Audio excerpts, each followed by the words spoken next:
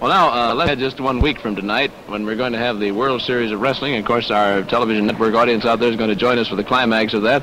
That should be something tremendous, too, should it not, Jules? Well, I'll tell you, it is really a wonderful thing, this World Series that we're putting on here at the American Legion Stadium.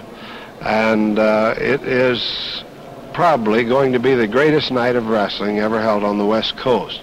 Now, right at this time, we're not just exactly sure who our main event's going to be, but we can say that you're going to see men like Lord James Blears, Lord Layton, uh, Sandor Szabo, and that class of wrestler. Yes, sir. Not to, uh, not to forget men like uh, Bockwinkel, Blassie, and uh, uh, Joe Pazandak, Mr. Moto.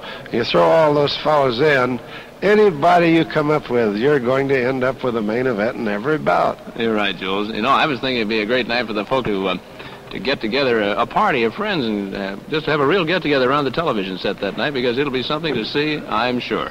That's right, Bill. And uh, what the taste of wrestling that they received tonight in this tag team match, which in my estimation was a fast, furious match. Yes, indeed. I know that uh, uh, my pulling for uh, certain two fellows didn't seem to help as much as it should.